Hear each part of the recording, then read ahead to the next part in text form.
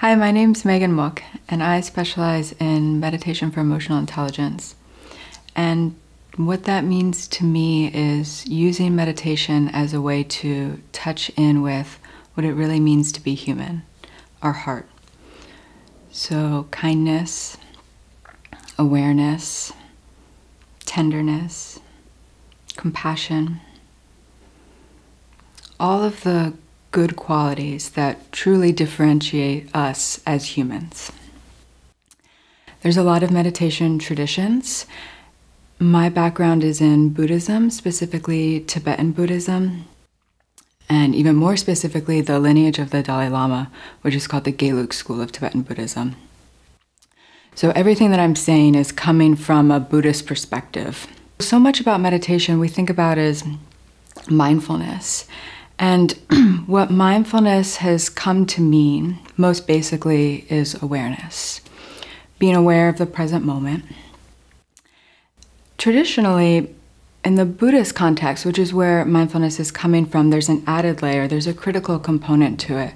And what it's more than just blanket awareness, it means being aware with a lookout for negative mental states, basically. So, for example, greed or anger or jealousy. That's one part of it. And then the second part is trying to herald in positive states like love and compassion, patience, tolerance. So, because mindfulness is such a buzzword right now, as you hear it, play with layering in the more traditional context, which is actually about working with our emotions and growing so that we can really live up to a higher potential as um, humans and not just being aware of our present environment so that we can calm down a little bit so that we continue potentially living in ways that are actually hurting us um, and hurting our humanity. One of the skills involved in being aware is actually being tolerant. And in the Buddhist context, they, they use the word patience. But what patience really means in this, in this context is being tolerant. So, tolerant of what? You're day in, little by little, trying to increase your awareness. And the more aware we become, the more in touch or in tune we become to uncomfortable feelings, be it physical or emotional or mental states or environmental. So the trick is how can we build up our tolerance to this discomfort? One of my favorite definitions of mindfulness comes from a scholar named Kristin Neff, who does a lot of work on self compassion. And to be honest, I actually haven't even read this quote from her, but I, I heard from another scholar that she defines mindfulness as being fully aware of whatever's arising, so that includes emotions, without over identifying with it. To be fully aware of whatever's arising without over identifying with it requires a kind of tolerance. We have to be able to tolerate the feelings of anxiety or depression or sadness. Likewise, we have to be able to tolerate feelings of joy and delight and confidence. I really believe, and I've heard scholars say this, although I haven't read a lot on it, um, but from my own practice, I really believe that where the degree to which we can hold discomfort is directly proportional to the degree to which we can hold pleasure and joy. For myself, I find I can get a little scared around joy. Too much joy makes me uncomfortable. I don't know how to handle it in my body. Sometimes I shut it down. Um, and certainly the same is true with uncomfortable emotions. Um, and we all you know, there's the full range of uncomfortable emotions anxiety, depression, anger, jealousy. And I think most of us have a couple that we're a little more keyed into, a little more, um, we have like more of a proclivity towards. And throughout my practice, the one they change. It used to be anxiety, and now I'm finding threads of depression that I didn't know were there. I think they were there all along. I just, um, now that the anxiety is settled, the depression starts to bubble up. Which is great because now that I know, oh, there's some depression in my mind, I can start to address it. I can start to intentionally do things both to heal it and to set up circumstances in my life so that it's less likely to arise. And that brings me to one of the major misconceptions about meditation, which is that it's this isolated thing we do. So we live our life doing whatever we're doing, and then we spend whatever it is 15 minutes, half hour, an hour a day meditating. And it's this box that then is supposed to help us be more resilient or kind or compassionate or less stressed, whatever it is. But the truth is, in order to be successful here in the meditation, our life, we need to make some changes in our life, or just to be aware that the way that we're living also affects our meditation. And the way that we're living affects our meditation's ability to then impact our mind, if that makes sense. So, for example, if through my meditations I start to become aware of some anxiety, well, I can address the anxiety within the context of the meditation, but I'd be better served if I really tackled it from both directions. So if I then start to look at my life, well, what are the factors in my life that might be making me anxious or contributing to the anxiety? Um, have I eaten a good meal today? How much exercise am I getting? What's my environment like? Is it is it loud? Is it calm? Is it cluttered? Um, is it spacious?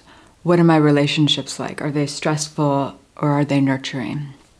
Do I feel threatened or do I feel confident? So the when we become aware through meditation of whatever it is, this being fully aware of whatever is arising, it has the potential to call us to action, to make some other changes in the rest of our life. And then the more we make these small, sweet little changes, the better we can work with whatever's arising in the meditation, and the more that the meditation has um, an impact on our life. They start to feed off of each other. Being fully aware requires a tremendous amount of compassion. Inevitably, we're going to become aware of things that hurt us, of things that we've done to hurt other people we become aware of this incongruity between how we think of ourselves or what we value and how we act.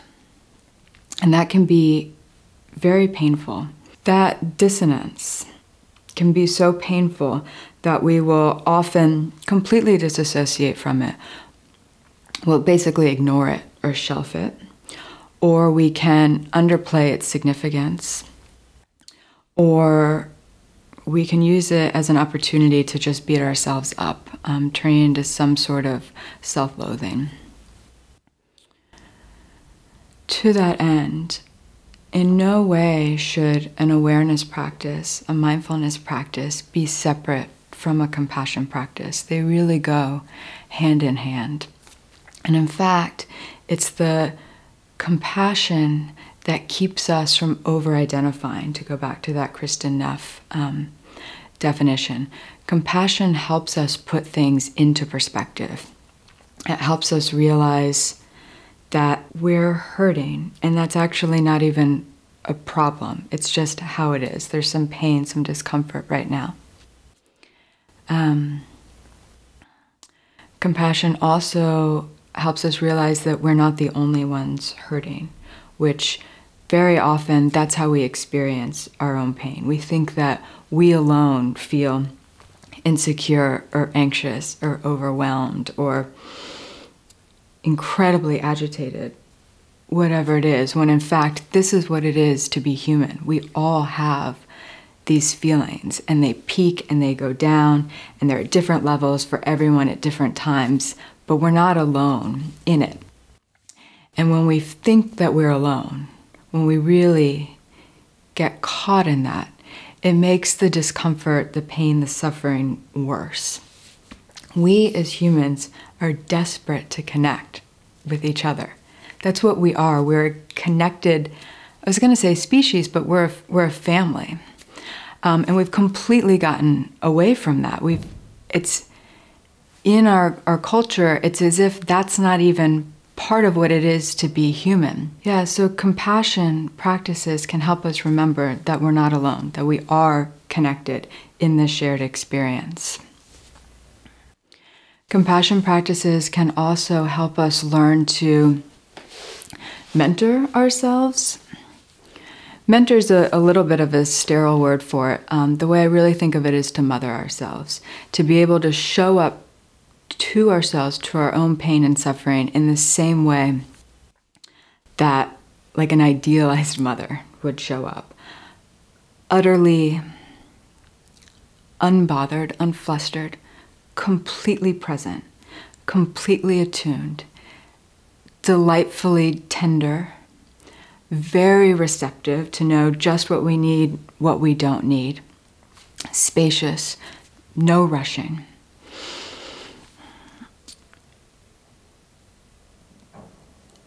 We spend so much time looking for other people to mother us or to mentor us, to make us feel better. Um, but the truth of it is, we need to learn, I should say, I need to learn how to do that better for myself. And that's not to say we don't seek connection with other people. Of course we do. But when it comes down to it, we ourselves are, are all we have. Um, and learning to show up for ourselves has a tremendous ability to take that edge off of the, the strong feelings, to somehow make them workable, make them malleable. Now we'll do a meditation basically to encourage ourselves to be present.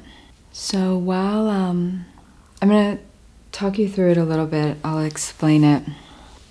And then once we actually start to move into the meditation, um, I really encourage you to not look at me as the visual.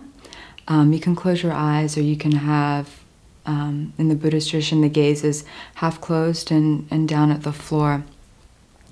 And use the sound of my voice as, like, so you feel like you have a companion, a little friend with you. Um, and you can certainly open your eyes and check in with the image here if you start to feel lost or uncomfortable. Um, but it really is an, an inward facing practice. So give yourself the opportunity once we start the actual meditation, it'll be clear when that starts, um, to go inward and kind of disconnect from me here on a screen. So get comfortable. You can sit up as well as you um, comfortably can. If you're sitting in a chair, have both feet flat on the floor. Try not to lean back. Having your hands halfway up on your thighs is fine. And again, you can now adjust your eyes, either closing your eyes or having them half open and down at the floor. And to begin, take three very deep and full breaths.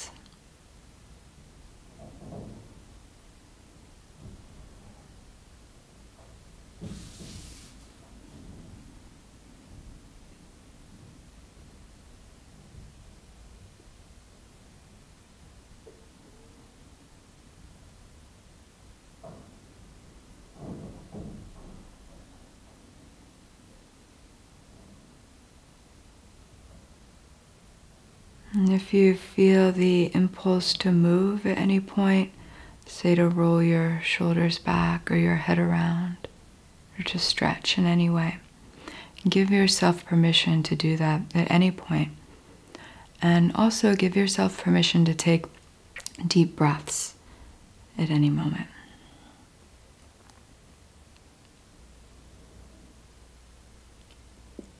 Relax your temples.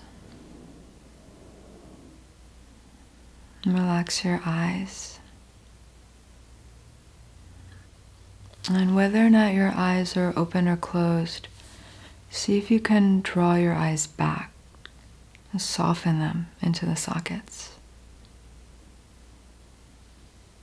Relax your jaw, your tongue. Relax your shoulders, your stomach.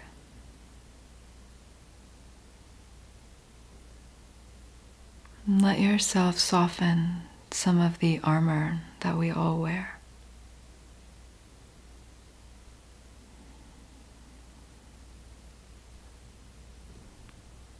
And very gently, very sweetly, start to move your awareness to your breath.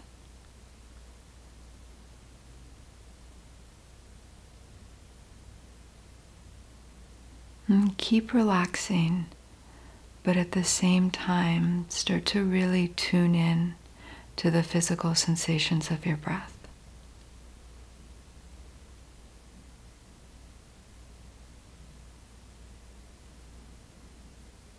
What do you feel when you breathe in?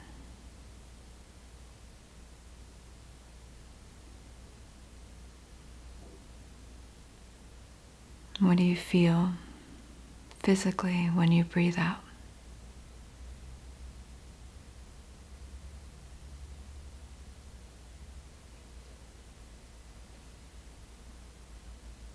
And is there some kind of pleasure, some nice feeling about breathing in and breathing out?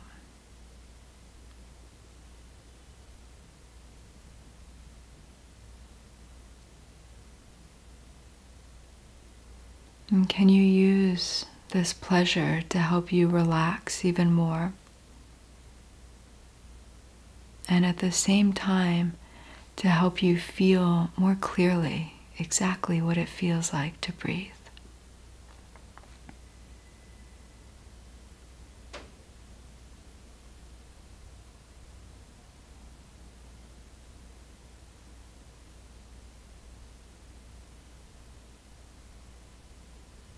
Lean into the pleasurable sensations.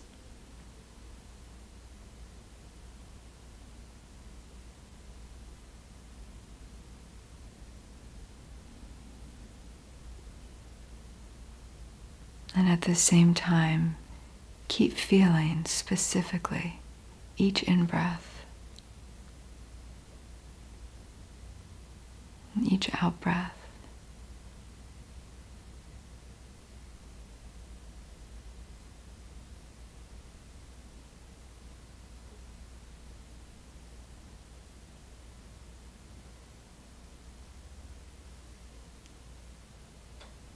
And see if you can make a link in your mind. The feelings of your breath, these concrete physical sensations, they're the same as the physical sensations of emotions.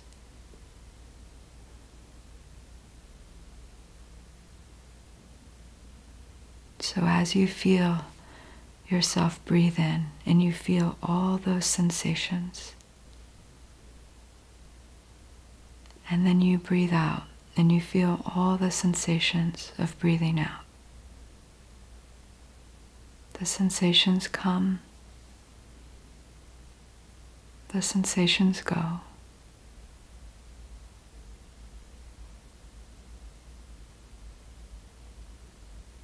And as we feel them, we practice building up tolerance,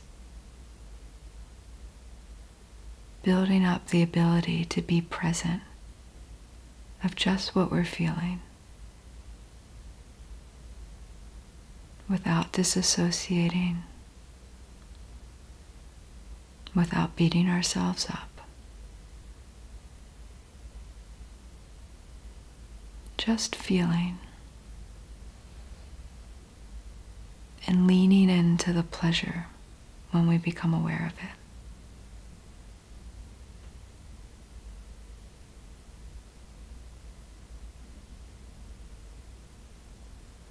Take a few more moments here to practice being truly present to the physical sensations of your breath.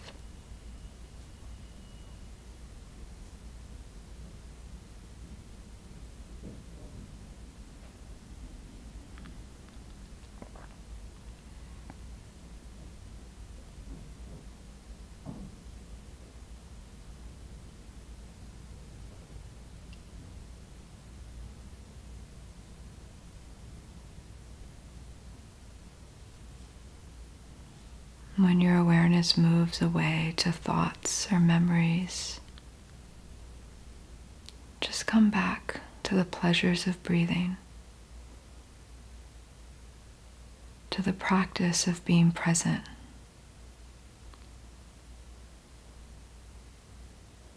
So, if you like, you can begin to add in a phrase silently in your own mind as you breathe in saying, May I learn to be present.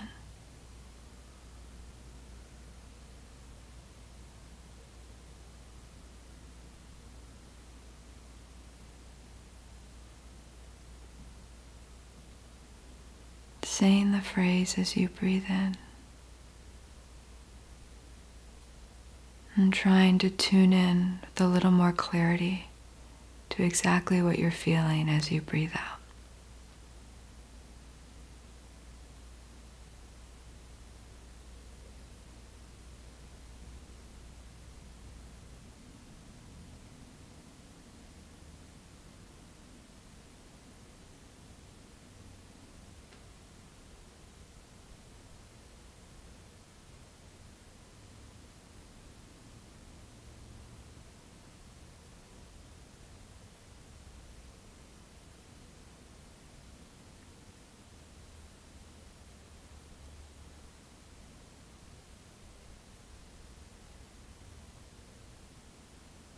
And as you breathe in and out, see if you can guide your presence to a place that's very relaxed, very fluid, gentle, flexible, and also very clear, very much in tune and aware with what's happening, with what you're feeling.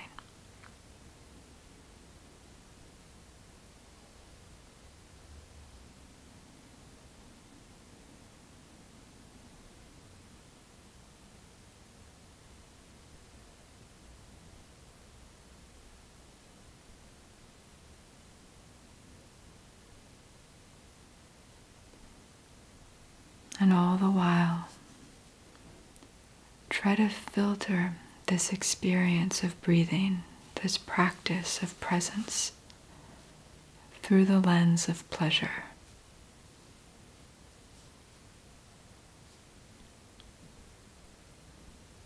Lean in to what feels nice with each in breath and each out breath.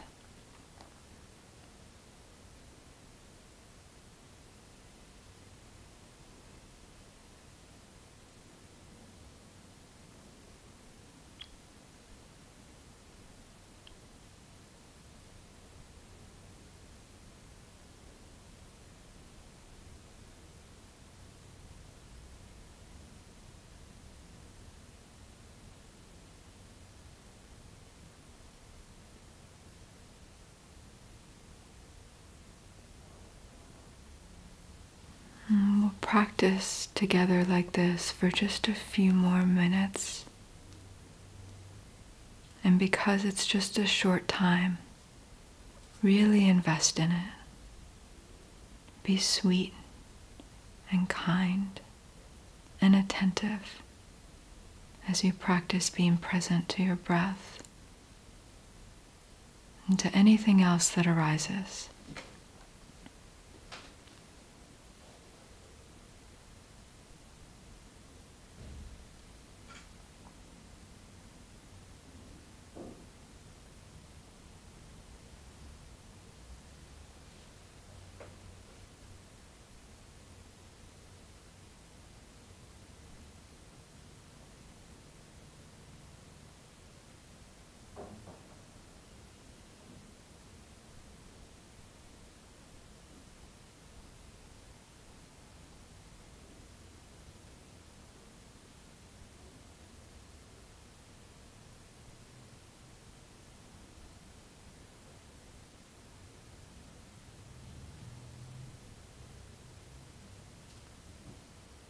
Gradually begin to deepen your breath. Stay present and engaged.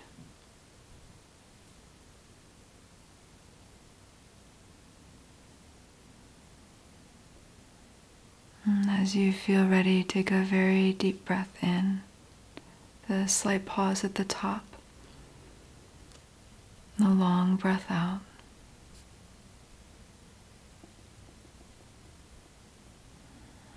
And take a few moments to feel good about the practice of being present, the practice of connecting to yourself. Connecting to your heart, to your humanity.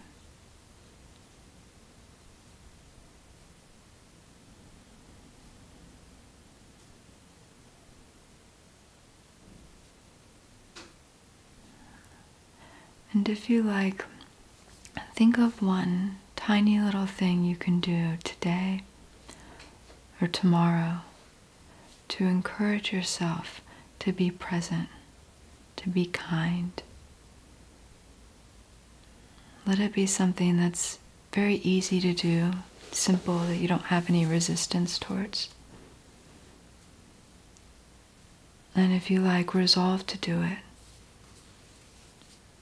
because presence, compassion, all of these are practices. They're not attitudes.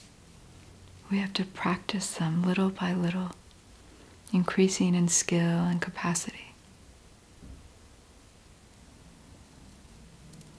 And again, whenever you feel ready, take a very deep breath in and a nice long breath out. Opening your eyes at any point, taking a few moments to adjust and transition, and building in some time to transition before you begin the rest of your day.